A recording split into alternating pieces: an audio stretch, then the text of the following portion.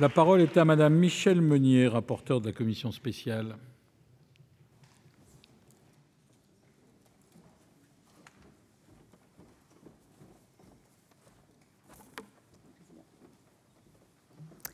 Monsieur le président, madame la ministre, monsieur le président de la commission spéciale, chers collègues, voilà désormais un peu plus d'un an que la commission spéciale chargée d'examiner la proposition de loi a entamé ses travaux. Nous avons mené de nombreuses auditions qui nous ont permis d'écouter l'ensemble des points de vue institutions, associations, médecins et évidemment les personnes prostituées à l'exception des clients toutefois. Au cours de ce processus qui a conduit la commission spéciale à élaborer le texte le 8 juillet, 8 juillet dernier, j'ai travaillé étroitement avec notre président Jean-Pierre Godefroy, alors, que je remercie pour nos relations constructives et cordiales. Je salue également M. Jean-Pierre Vial, qui assure actuellement la présidence de la commission spéciale. Je remercie enfin Brigitte Gontier-Morin pour son rapport intitulé Prostitution, la plus vieille violence du monde faite aux femmes, travail aujourd'hui soutenu par Chantal Joanneau au titre de la délégation aux droits des femmes. Aborder un sujet aussi passionnel et complexe que celui de la prostitution n'est pas chose aisée. Beaucoup des questions posées par la proposition de loi transcendent les clivages partisans habituels. Ce texte s'inscrit dans la droite ligne de la proposition de résolution adoptée par l'Assemblée nationale en décembre 2011, qui réaffirmait, je cite, la position abolitionniste de la France, dont l'objectif est, à terme, une société sans prostitution. Ce texte est également cohérent avec l'article 1er de la loi du 4 août 2014 pour l'égalité réelle entre les femmes et les hommes. C'est aussi à un changement de regard sur cette violence faite aux femmes que nous invite à faire cette proposition de loi. Les réalités de la prostitution ont évolué dans leur forme. De la prostitution de rue à l'exploitation organisée dans le cadre des réseaux, en passant par l'escorting pratiqué via Internet, la prostitution est multiforme. Mais quelle qu'en soit la forme, qu'elle soit, régulière ou occasionnelle, le système prostitutionnel reste très majoritairement masculin. En effet, 85% des 20 000 à 40 000 personnes prostituées en France sont des femmes et 99% des clients sont des hommes.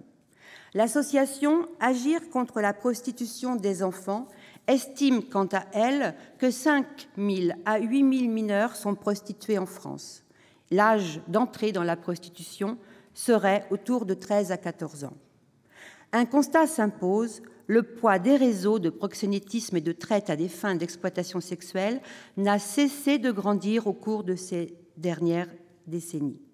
Si depuis toujours les personnes prostituées appartiennent aux classes sociales les plus défavorisées, depuis les années 2000, elles sont, selon l'OCRET, 97% de nationalité étrangère. Leur vulnérabilité et leur invisibilité sont extrêmes. Ces personnes sont sans droit, ne parlent pas notre langue et sont maintenues sous la coupe des réseaux organisés et violents qui les déplacent au gré du marché. La lutte contre ces réseaux continue d'être notre premier objectif. La France est très active en ce domaine, mais doit aller encore plus loin en renforçant les moyens humains et financiers de la police et de la justice. Le Gouvernement a engagé ce chantier en créant la MIPROF, mission interministérielle de protection des femmes contre les violences et la lutte contre la traite des êtres humains, et en lançant le premier plan national de lutte contre la traite des êtres humains au mois de mai dernier. En outre, toutes les mesures visant à intervenir sur l'offre et la demande concourent à cette lutte contre la traite humaine. Cette proposition de loi, mes chers collègues, nous permet d'aller plus loin, notamment en ce qui concerne la lutte contre les réseaux sur internet. Le texte voté par l'Assemblée nationale inscrit déjà le proxénétisme et la traite parmi les délits graves qui doivent susciter une réaction rapide des hébergeurs et des fournisseurs d'accès lorsque des sites manifestement liés à de tels agissements leur sont signalés par les internautes. En revanche, lorsque la commission spéciale a établi son texte au mois de juillet dernier, la réflexion n'était pas suffisamment mûre pour adopter un dispositif plus contraignant de blocage des sites à la demande de l'administration.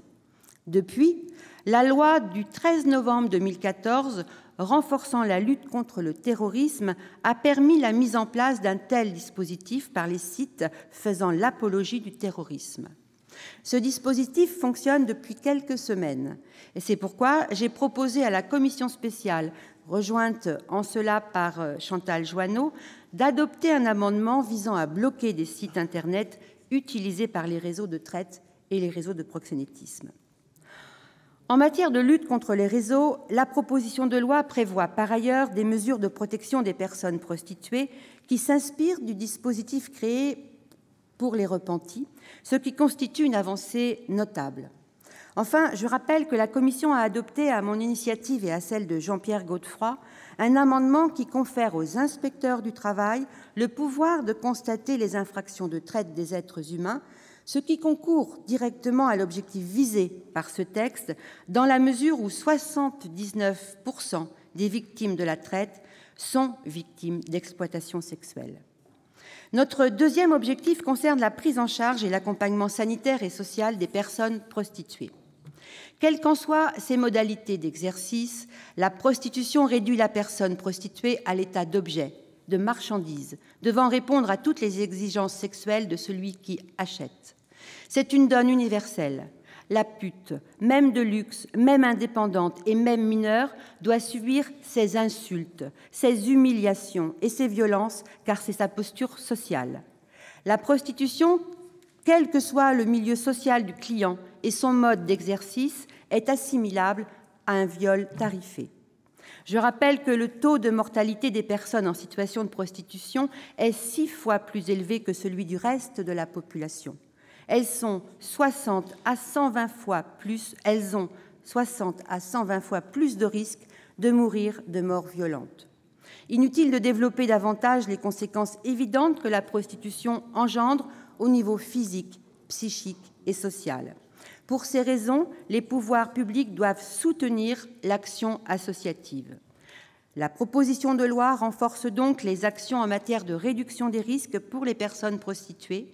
Elle élargit la formation des travailleurs sociaux et crée un parcours de sortie de la prostitution. Notre commission a clarifié, les conditions d'élaboration, de mise en œuvre et de suivi de ce parcours qu'elle a choisi d'intituler projet d'insertion sociale et professionnelle et qu'elle a ouvert à l'ensemble des personnes victimes de la prostitution. Organisé sous la responsabilité du préfet, le projet sera défini en accord avec la personne accompagnée en fonction de ses besoins sanitaires, professionnels et sociaux. Il lui permettra d'accéder à des alternatives à la prostitution. Toute association ayant pour objet l'aide et l'accompagnement des personnes en difficulté pourra y participer, sous réserve de remplir des conditions d'agrément fixées par voie réglementaire.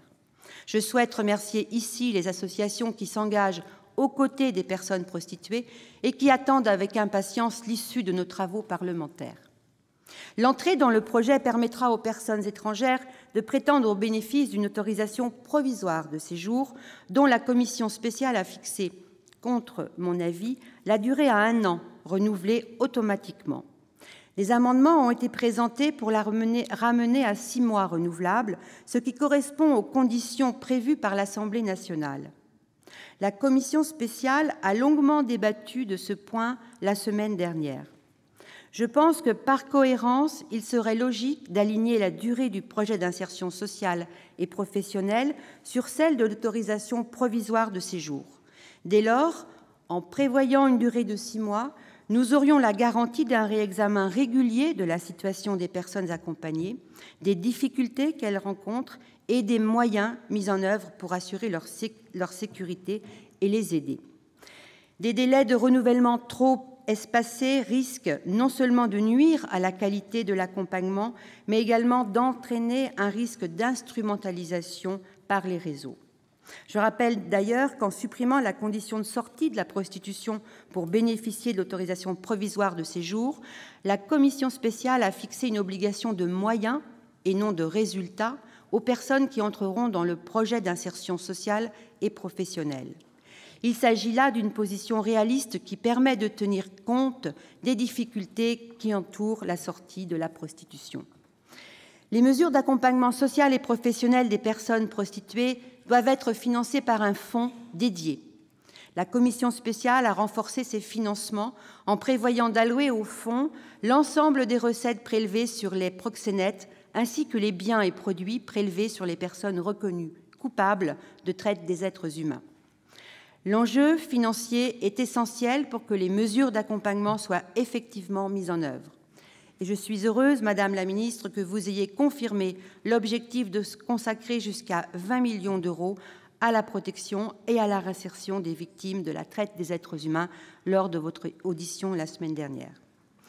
S'agissant de l'aspect pénal de la proposition de loi, l'article 16 prévoyait l'incrimination du client avec la création d'une contravention de cinquième classe et, par voie de conséquence, l'article 17 créait une peine complémentaire de stage de sensibilisation.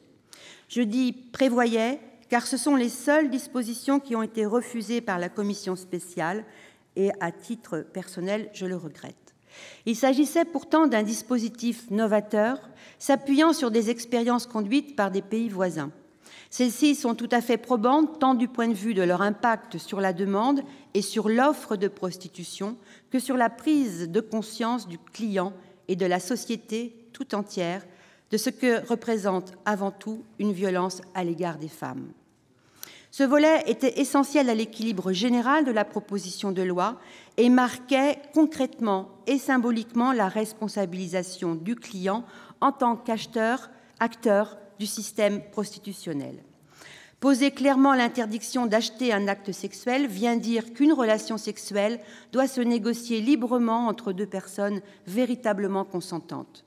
Nous renforcions ainsi l'interdit du viol, l'interdit de l'inceste, du tourisme sexuel et de toute agression sexuelle.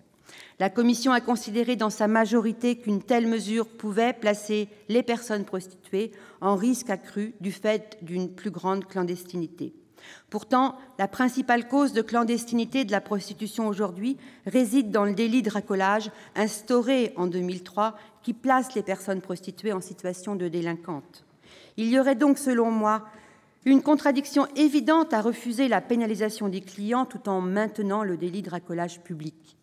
Nous aurons l'occasion d'évoquer cet aspect à l'occasion d'un amendement visant à rétablir ce délit dans le texte. Alors, mes chers collègues, le dernier pilier de cette proposition de loi concerne l'éducation à la sexualité et la prévention du recours à la prostitution auprès des jeunes. La commission l'a conforté, notamment en créant un nouvel article au sein du Code de l'éducation prévoyant qu'une information sur les réalités de la prostitution sera dispensée dans les collèges et lycées par groupe d'âge homogène. Nous avons précisé que cette information devra également porter sur les enjeux liés aux représentations sociales du corps humain, avec une vision égalitaire des relations entre les femmes et les hommes, et contribuer ainsi à l'apprentissage du respect dû au corps humain. Victor Hugo, Madame la Ministre, sénateur illustre qui a siégé ici même dans cet hémicycle, voyait dans la prostitution la dernière forme d'un esclavage que pensait avoir aboli la civilisation européenne. Nous avons donc aujourd'hui une responsabilité historique. Je ne peux pas douter que notre Haute Assemblée mettra un point d'honneur à décider l'abolition de la prostitution en tant que privilège de genre et de classe et d'entrave majeure à l'égalité entre les femmes et les hommes.